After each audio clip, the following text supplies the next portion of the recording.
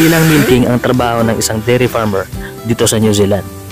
Pagkatapos magatas, ay may mga ginagawa pa kami na farm jobs gaya nito.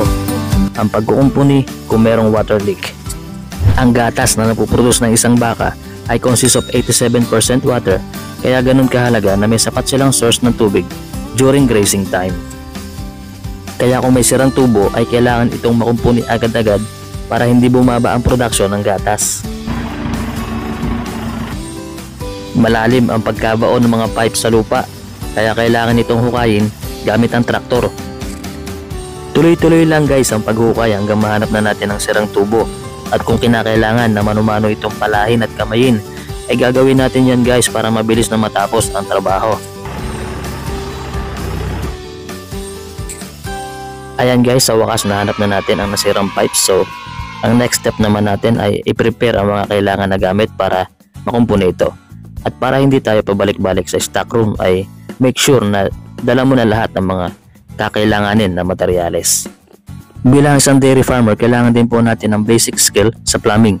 Kaya kapag may ganitong sitwasyon guys at ikaw ang kasama ng iyong 2IC sa pag-fix ng leak, take note in your mind kung paano ang pagkumpuni nito. Ika nga eh, watch and learn para kung sakali day of C2IC and this kind of situation arises ay kayang-kaya mo nang gawin ito. This is 32mm PVC pipes at L shape ang forma ng pipes kaya kailangan natin ng elbow connector to fix this. Pagpunta ko guys sa stock room, wala akong nakita na 32mm elbow connector kaya nag-improvise ako since this is an urgent fix. Ang available is 40mm elbow connector so what I did is connect a 40mm to 32mm PVC pipe coupler. Pwede na yan guys so tara let's do this! Naalala ko lang guys ang paboritong laruin ng mga bata, yung Lego. Bukod sa nag enjoy na sila sa paglalaro, ay nade-develop na rin yung analyzing skill nila at creativity.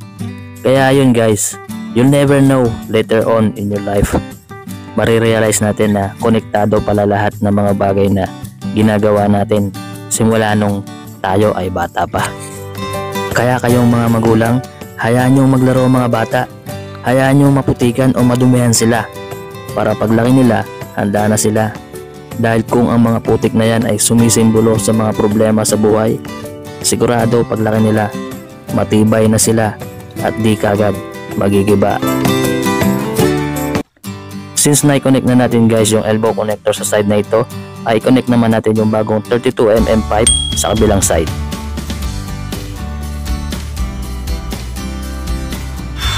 Gumamit ako ng grinder para mabilis kong maputol yung pipe na may takip. Expected na may bubuga na tubig kahit na enough ko na yung pump ng tubig sa shed. Kasi yan ang tubig na naiwan sa pipe. Hintayin lang natin guys na maubos yung natitirang tubig sa pipe na ito kaya balikan na lang natin after a few hours. After 5 hours, bumalik ako guys at dahil wala nang tubig sa pipe, ay pwede na natin i-connect yung mga pipes. Once na i-connect na natin guys ang mga pipes, ay wag muna natin kagad buksan ang tap ng tubig kasi sariwa pa ang glue sa mga pipes at huwag muna natin takloban ng lupa ang pipes para maobserbahan natin once binuksan ang pump. Yun lang guys ang content natin for today. At kung may natutunan kayo, huwag kalimutan na mag-subscribe, like and share for more updates. Cheers!